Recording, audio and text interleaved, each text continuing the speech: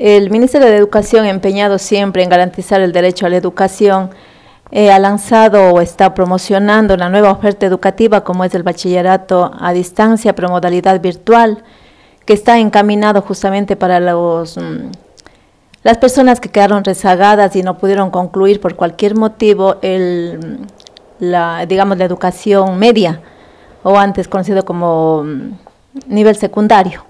Ahora tienen la gran oportunidad para acceder y terminar su bachillerato. Vía virtual tendremos mm, personas idóneas que están al tanto de los temas que se van a impartir, así como también tendremos facilitadores para que les ayuden a los estudiantes a bajar las guías y todo el material de estudio de forma gratuita. La gran ventaja es que por ser virtual lo pueden acceder desde su propio domicilio, suficiente con que cuenten con internet. Esta vez vamos a arrancar con el primer año de bachillerato y próximamente iremos, Paulatinamente se irá incorporando el segundo y tercer año de bachillerato. El mínimo requisito es tener 18 años o más de edad. Eh, otro requisito, contar con la cédula de ciudadanía. El tercer requisito es tener rezago escolar de tres años o más, es decir, que tenga aprobado el décimo año de educación básica.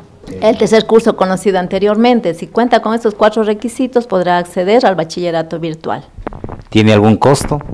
totalmente gratuito, no tiene ningún costo, todas las guías lo podrá bajar de forma gratuita, cabe recalcar desde la página web que es www.juntos.educacion.gov.es. O sea, tiene, está dirigido justamente para personas que se encuentran dentro del país, si pueden hacerlo acudiendo ahora al Distrito de Educación a través de las unidades de atención ciudadana Ahí les van a brindar todas las facilidades para que queden inscritos o matriculados.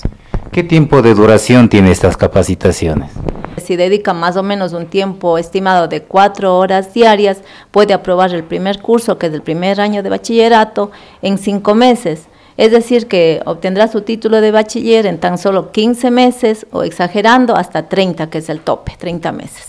Todo dependerá de la acogida de la ciudadanía, por eso es que estamos aprovechando este importante medio de comunicación para llegar a los espacios más recónditos o más lejanos para que accedan, porque esta es una oportunidad única que tienen para ser bachilleres. Por favor, si antes no pudieron hacerlo, no pudieron culminar por diferentes situaciones, de tipo económico, familiar y otras, ahora aprovechen y dependerá de ustedes para que esto surte el efecto que anhela el Ministerio de Educación.